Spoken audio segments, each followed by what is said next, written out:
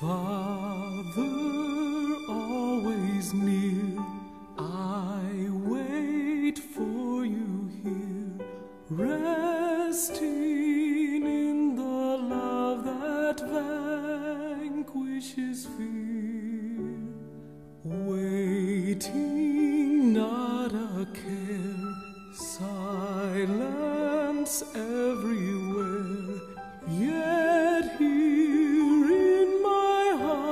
a still small voice bids me to come, and I must follow.